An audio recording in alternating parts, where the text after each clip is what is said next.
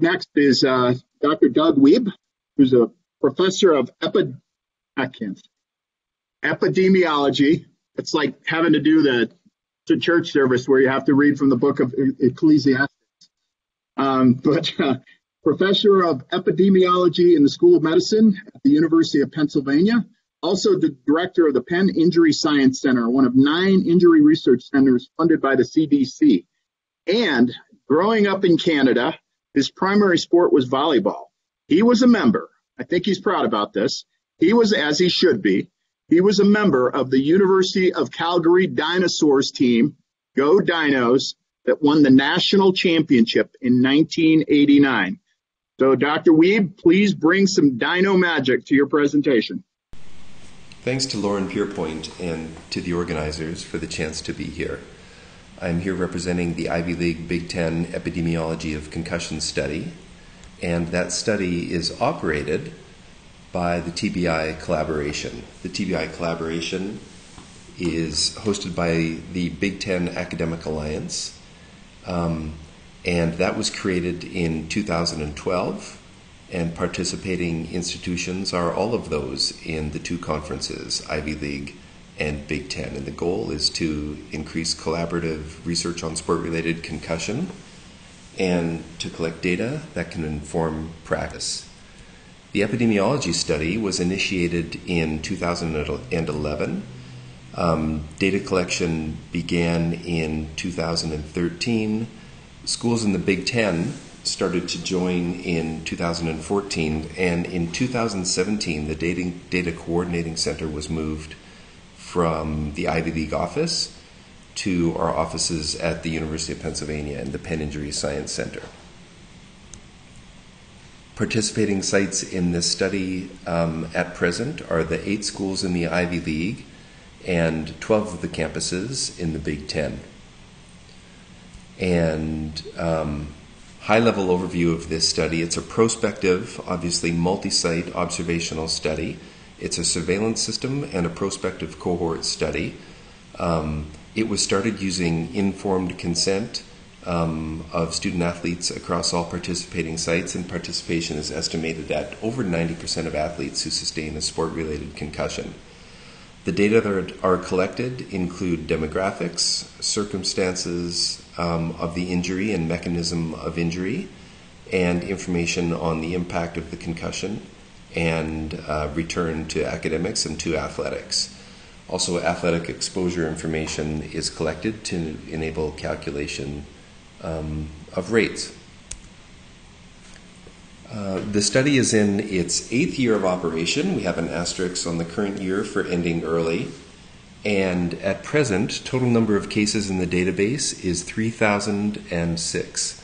You can see that, of course, the majority are sport related concussion, but the database also includes non sport related concussions that are captured across all sites. And 27 sports are represented um, in this study.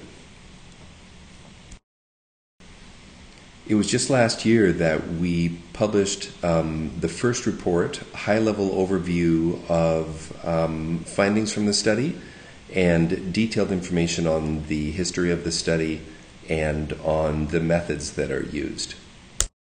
That study reported on concussion rates by competition and practice and overall for sports. Um, it reported high level information on the symptom, the prevalence of symptoms. Uh, symptoms are collected using the SCAT and reported, reported on time to a number of outcomes. Here is time to symptom resolution for four different sports. Uh, time to return to academics and to exertion and to competition by sex. These are crude Kaplan Meier curves. Um, and there is much more to be studied with these data um, from an epidemiologic standpoint and also from a policy standpoint. Um, another report that we put out in the last two years was conducting an evaluation of the experimental kickoff rule that was introduced in the Ivy League in 2016. We evaluated that rule using a difference in differences analysis, comparing changes in rates of concussion during kickoff returns in competition to changes in rates in sport related concussion during all other types of plays. And uh, we found that there was a, a large um, excess reduction in sport related concussion rates during kickoffs over this time period that we attributed to that um, experimental kickoff rule.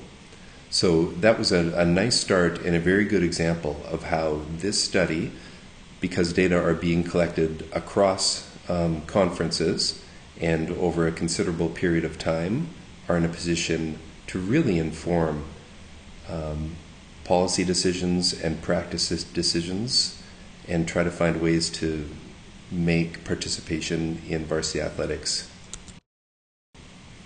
And now there are many opportunities for, um, for learning about risks for concussion and risks for prolonged recovery following concussion, and also for the prevention of concussion.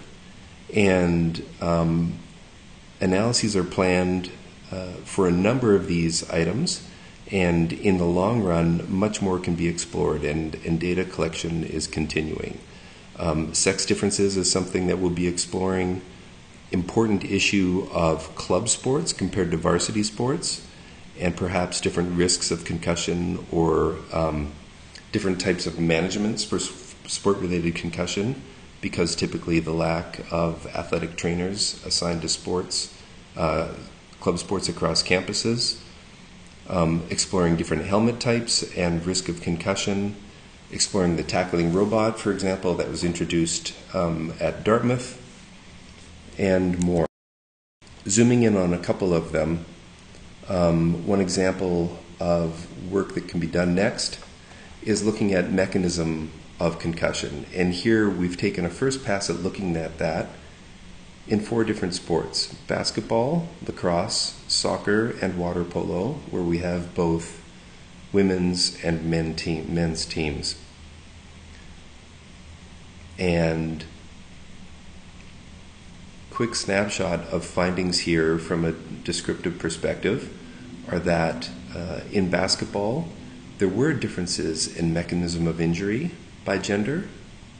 We also saw that in lacrosse, for example, where the most common mechanism was contact from a ball or from a person, but more men sustained sport related concussion from person or person during a ground ball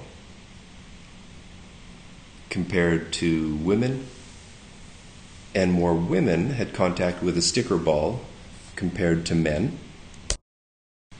For soccer, there were also sex differences in the mechanism of injury but we didn't see sex differences in water polo, perhaps because being immersed in the water um, largely leveled the playing field. So, opportunities to look even closer to think about how the games are played and whether there are opportunities um, to make these sports safer and identify what is it specifically, um, what's happening on the field when concussions are, concussions are sustained in these sports in women and men. Abby Bretzin is a postdoctoral fellow with us and a certified athletic trainer um, who completed her PhD at Michigan State. And this is a poster that she presented in February this year um, at Big Sky. And she was exploring the non sport related concussion data. In the top right, um, you can see that there were 415 non sport related concussion cases captured in the database so far. Mechanisms of injury included moped and scooter from a fight. Some were alcohol involved, some were car crashes, some were falls. And um, in considerable um, time out of sport resulted um, due to these non sport related concussions. So, more to be explored, and for example, we can look across campuses and see if any of these mechanisms are disproportionately happening on different campuses, maybe due to um, different ways campuses or laws are enacted there, and chances or opportunities for prevention. At Rutgers, they have introduced use of the guardian cap in practices in football. And what catches our eye is that a handful of Scarlet Knights um, have been assigned the guardian caps to see if those might reduce the risk of concussion in practice. You know, this is such um, a, a, tightly uh, tightly knit group of campuses that are participating. I think that we're actually in a position to, to do even more. And rather than look retrospectively and treat some of um, some changes in practice like this as a natural experiment, we could even consider introducing countermeasures like this um, with randomized designs. And if there is an interest in having all athletes receive an intervention and, and not have it held back from any of them, even using, for example, a step wedge design over time to introduce a countermeasure in a, in a systematic way and have a really robust test of whether that might reduce the risk of concussion. So there's potential for this kind of countermeasure to be um, evaluated with, with rigorous methods beyond observational studies. So many people to thank for the collection of data and the creativity that goes into ways to, to make that happen and have the data be valid. In particular, I want to thank Bernadette D'Alonzo, who is the lead research coordinator on this study, um, sitting there in the front row on my left. She will be starting the PhD program in epidemiology at Penn this fall. And also thank you to Abby Bretzin, uh, back row on the left, um, who's with us and who's been working very, very closely with me and Bernadette for the past eight months. Um, and thank you to the athletic trainers and team physicians and researchers across the collaboration who continue to collect these data and put so much hard work and creativity into it. And we look forward to further participation and, and research collectively as a group to keep on trying to find ways to make participation in athletics safer. Thanks again for the chance to be here.